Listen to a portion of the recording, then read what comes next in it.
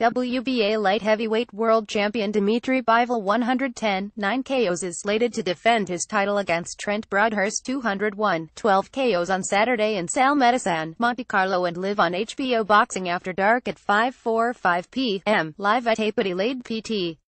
Bivol was elevated from interim champion to regular champion by the WBA after former WBA Super World champion Andre Ward retired and former WBA regular champion Badou Jack vacated.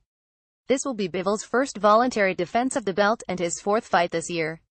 He became the interim champion when he dethroned Felix Valera, and handed the Dominican boxer his only defeat, in May 2016. Photos by Lawrence Lustig. Despite his stellar record and meteoric rise, with only two professional fights on U.S. soil, most American fans know very little about the 26-year-old light heavyweight from St. Petersburg, Russia. He was born in Tokmak, Kyrgyzstan but moved to St. Petersburg when he was 11 years old.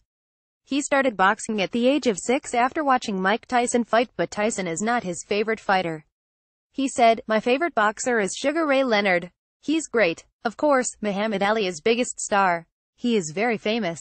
I love to watch fights with Sugar Ray Leonard before my fights. I learn from his fights.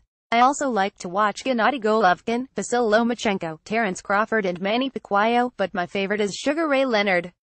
Bivol trains in Southern California with his trainer, Gennady Mashyanov, while his family remains back home in Russia.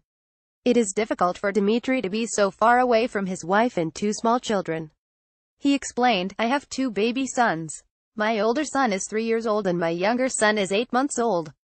My family is home in Russia and it is hard to know how fast your babies are growing and you can't be there to see it. Every day I call to them and sometimes my older son calls to me when I am asleep because of the time difference. When asked what he wanted his fans to know about him, Dmitry said, I want the fans to know that, since I was a child, boxing is my life. I want the fans to know I am always trying to do my best. I am doing my best in the ring.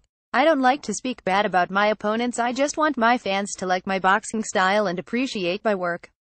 I am trying to do everything for the fans.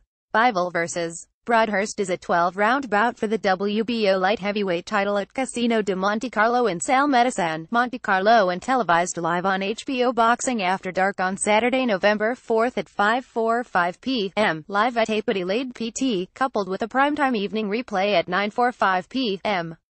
ETPT.